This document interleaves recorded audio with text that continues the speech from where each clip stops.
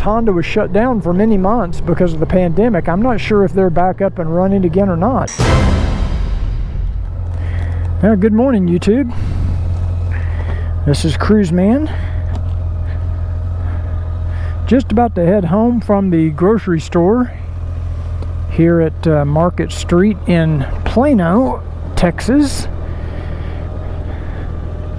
I just uh, got finished with breakfast at Awake with Don Smith and I needed to do a little shopping for the 4th of July. I want to wish everybody a happy 4th of July.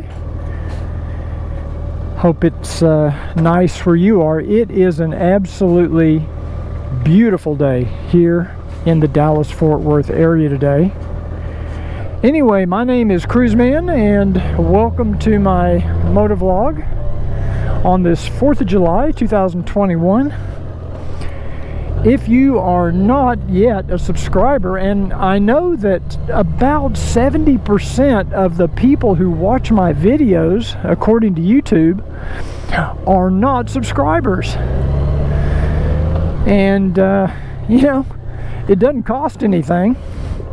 It's completely free. If you have a passion for motorcycles, doesn't matter what kind of bike, doesn't matter what kind of uh, motorcycle you ride, or even if you don't ride a motorcycle, if you have a passion for motorcycles, you should probably click that little subscribe button down below. You know, the science says that if you subscribe to this channel, you will get a lot more enjoyment out of motorcycles. So you don't want to be a science denier, right? You want to follow the science and click that subscribe button. And don't forget to click that little bell icon because then YouTube will notify you when we come out with new videos. And we are coming out with new videos all the time. I just released a video a couple of days ago talking about my predictions or my wish list for the 2022 Honda Goldwing. And I guess you could even extend it out to 2022, 2023 Honda Goldwing. I think there might even be a question as to whether or not Honda will even have a 2022 year model. Maybe they'll just wait till 2023. I know that Corvette is doing that. I think they're skipping the 2022 year model just because of the uh, chip shortage. but will Honda do that? I don't know. I know the Honda factory was shut down in Japan due to the pandemic for quite some time. And that's why some of you that have been uh, hankering for a 2021 Goldwing have had a hard time finding them. Uh, the, the demand has outstripped the supply because Honda was shut down for many months because of the pandemic. I'm not sure if they're back up and running again or not. But I know a few of you, I keep getting emails and messages on YouTube and Facebook saying that you just bought a 2021. So there must be some out there somewhere. Because just last week I got a couple of messages from people who bought my videos and I'm talking about my maintenance videos for the 2018 to 2021 Goldwing. I did get some messages from people who just bought the videos saying they just got a brand new 2021, so they must be available. And for those of you that watched that video on my wish list for the 2022 Goldwing, I don't know if you noticed it or not, but I am now using a teleprompter. I just got a new teleprompter in the other day. So when I'm doing videos in the studio, I don't know if I'll use it on all my videos, but it does help for me to write out kind of a script of what I want to say and what I want to cover so I don't leave anything out, don't forget anything. So that was the first video that I've done for Cruiseman's Garage where I used, it's actually not true. I think I might have done it on the Bohn Armor 2.0 level 2 video too. But anyway, I'm still getting used to the teleprompter. It takes some getting used to using one. And um, hopefully it'll keep me from having to reshoot a lot of segments because when I'm just talking off the top of my head, I tend to forget to mention things, even if I have notes.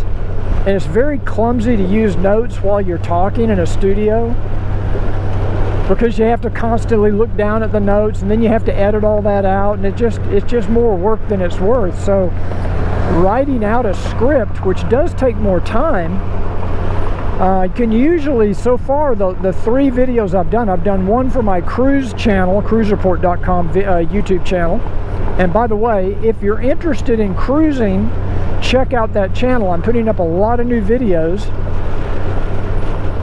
And I've used it for two of my Cruiseman's Garage videos and I think I like it. I can usually do everything in one take, in one shot, instead of having to come back and reshoot certain scenes and it's just a pain. So hopefully this teleprompter uh, will make producing my videos, at least the studio portions, much easier. Doesn't help me with the motovlogs, obviously, because I'm just talking off the top of my head. So let me know what you think of that video and at the same time uh, a lot of you I know are at or I guess you're still at Wingding or maybe some of you have already come home from Wingding. And if you have I, I obviously I didn't make it this year. I had so many projects and things I'm working on that I just couldn't get away. And I'd be curious to know for those of you that went to Wingding what was your impression how many people uh, do you think were there, or did they announce how many people were there? Uh, just curious how it compare. If you've been to the previous Wingdings, how did it compare to the ones in Knoxville or Nashville? I'm just I'm just curious. I you know no other reason other than my own uh, curiosity. So just let me know. I've got a couple other new videos coming up this week that I'm working on. I'm supposed to be getting in very soon the newer 5G version of the Monimoto GPS tracker. I uh, have not received it yet, but I they did reach out to me about it and I responded and said, yeah, send it on and I'll give it a review. But I haven't seen it yet. I'm, I continue to use the Invoxia GPS tracker and I've been pretty pleased with it so far. I know a lot of you have ordered that through my Amazon page. And uh, I'd be curious if you have ordered the Invoxia or if you have the Invoxia, what are your impressions? What do you think of it? Just curious, anxious to know what your feedback is. So I'm just going to enjoy this beautiful ride home. It's only about 80 degrees outside right now. It's cloudy, so there's no you know, sun beating down on me or anything. Of course, it's still morning, but it really is no wind. Maybe maybe five mile an hour wind is just absolutely perfect.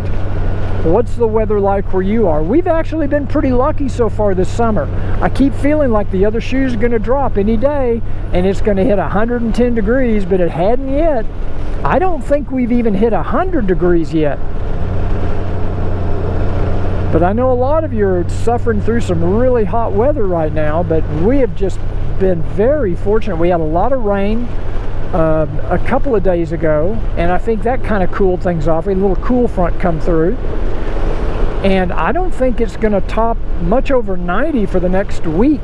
So we should have good riding weather uh, this week in the Dallas-Fort Worth area. If you ever planned on coming to Dallas-Fort Worth, this might be a good week to do it. For those of you that maybe live in Arkansas or, or Oklahoma or New Mexico, if you want to come to Texas, now be a good week because it's pretty cool right now, at least in the Dallas-Fort Worth area. Oh, and by the way, what are you planning to do for the 4th of July?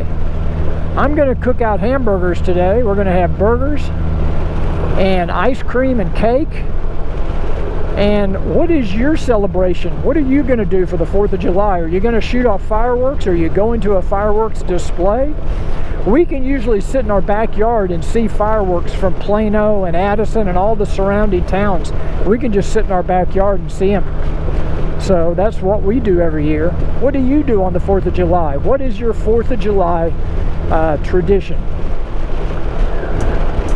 So anyway, that's it for me. I'm going to shut up, let you guys Have a great 4th of July. Thanks for joining me today. I'll see you on the next Cruiseman's Motovlogs. Don't forget to click that like button.